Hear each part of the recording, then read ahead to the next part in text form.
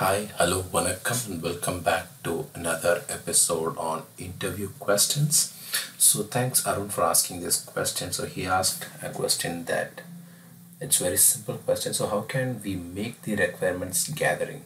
So, in the question, I have answered just about requirements gathering, but I have not given any justification for where we are going to make the requirements gathering. So in this video, we will discuss about where and what are all the steps that we're going to use for the requirements gathering. And thanks, thanks again for asking this question. So in case if any of you have any other questions, please feel free to comment in the comment section. So now let's dive into the question and answer.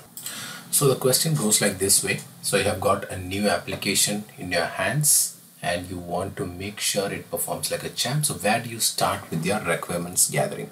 So the first part is the stakeholder collaboration. So my journey begins by collaborating closely with the key stakeholders. Especially it starts with the developers the product managers the system architects and they all have unique insights. So we have to discuss with all the stakeholders and for an example i can say the interviewer that in a, in a recent project I have held workshops with them to understand their performance expectations.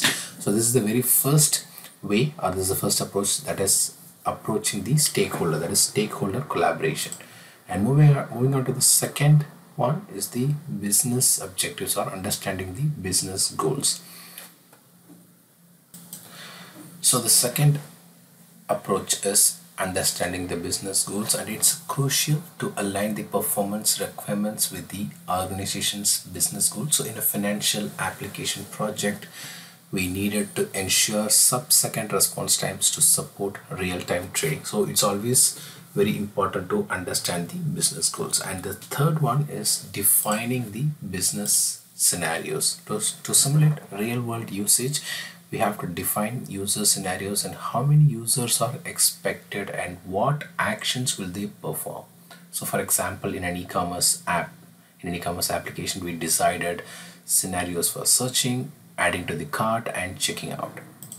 And the fourth one is the non-functional requirement so we have to pay attention to non-functional requirements such as the response times the throughput and resource utilization. So in a healthcare application for example we had to ensure the fast data retrieval for patient records and efficient usage of server resources.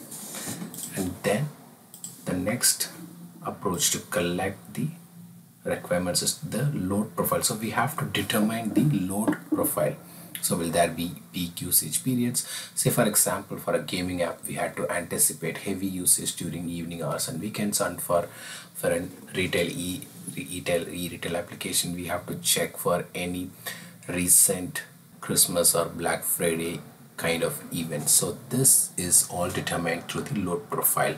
And then next comes the testing environment. So we have to define our test environment and this should be part of our collection of the non-functional requirements. So we have to define our test environments. So will I test in a production like environment or a scaled down version? This has to be the next requirement that we have to collect from the development team or from the business analyst or from some of the other stakeholders especially from the business end. And this is critical for accurate testing. In a recent cloud-based project for an example I have used AWS to replicate the production environment. So this is so simple. So we have to clearly define what are all, what are all the the metrics that we need to collect and from whom are we going to collect so the first thing is the stakeholder interview so we have to collaborate with the stakeholders especially with the developers the business analyst and the system architects and next is understanding the business goals so for for whom and for what are we going to test the business or we're going to test the application.